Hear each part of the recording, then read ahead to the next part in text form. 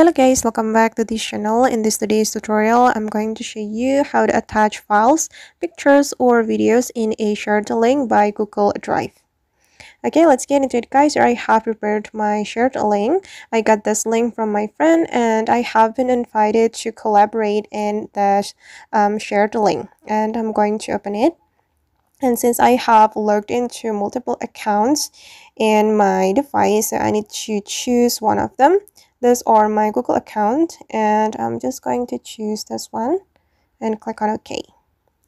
Alright, and here we'll be able to attach files, pictures, or videos in this um, shared link. And if you want to attach files, we just need to click on this plus icon and then select upload.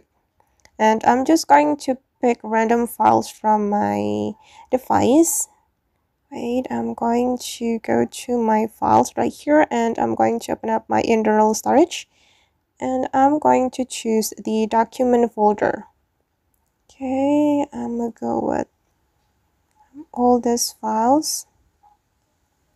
Alright, and after we're done choosing the files, pictures or videos um, to be uploaded to the Google Drive, we just need to click on done. And the files um, will be uploaded. As you can see, now the files are being uploaded and we just need to wait for a moment. Okay.